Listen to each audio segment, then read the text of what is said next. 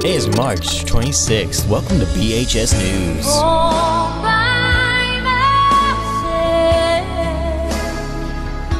Good morning, Brandon. I'm Logan, and these are your morning announcements.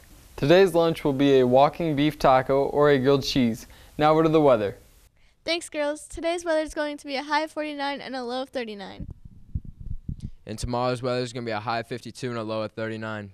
In Daytona Beach, it's going to be a high of 72. And a low of 64. Today in Myrtle Beach, it's going to be a high of 57. And a low of 40. At the white sandy beaches of Cancun, it's going to be a high of 83. And a low of 75. Back to the studio. This Thursday, there will be a college fair down in Novi. The bus will depart at 7.30 and will be back at 10.35. We will be stopping by 11th grade ELA classes. Permission slips are due today. We encourage all juniors to attend. And now for your sports updates. Tonight at 7, there's a girls varsity soccer game versus Avondale at Avondale High School. And these have been your lonely announcements. I'm Logan, and Jake's not here.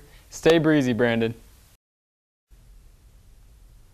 I pledge allegiance to the flag of the United States of America and to the republic for which it stands, one nation, under God, indivisible, with liberty and justice for all. Thank you.